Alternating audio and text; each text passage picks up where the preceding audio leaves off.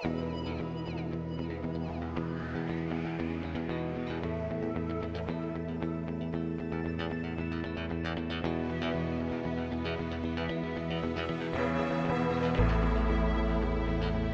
been unbelievable. I mean, I, I joked years ago that I was like the six million dollar woman, better, stronger, faster. I don't know. The staff here was incredible.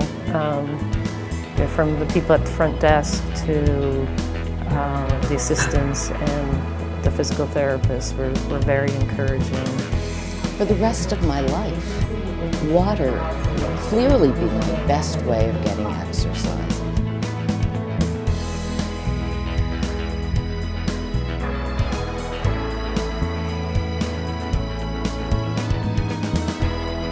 Allegheny Chesapeake Physical Therapy. The Get Better Place.